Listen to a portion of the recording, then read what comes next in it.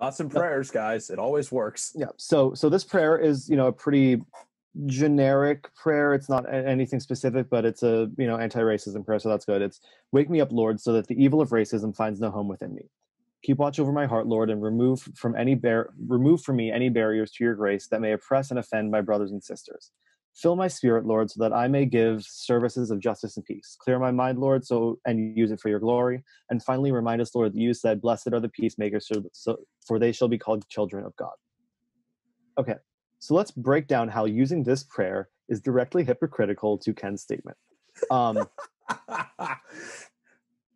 remove me from any barriers to your grace. It seems like President Gormley here is has many barriers um, that may oppress and offend his brothers and sisters in the Duquesne community.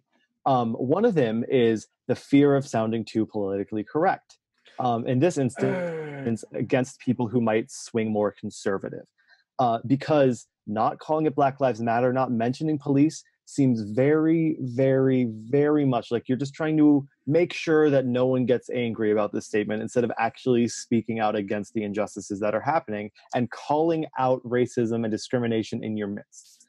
Um, there you go. Fill my spirit, about... Lord, so I may give services of, inju- of justice and peace.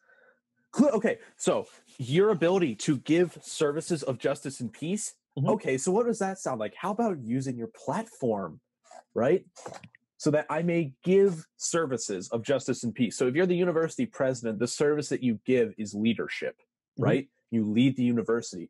These are times when presidents and leaders are supposed to step up. And we've seen what happens when that doesn't happen.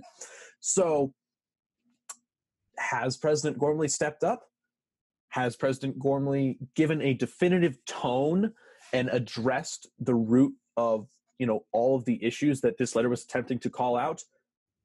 Clearly not. Why? Because he hasn't said any of them. As we've been saying this whole time he has not called out any of the symptoms. He has not called out any of the causes. And so by saying that i will give by by asking the lord to fill his spirit with strength so that he may give services of justice and peace he is inherently not giving those services. And i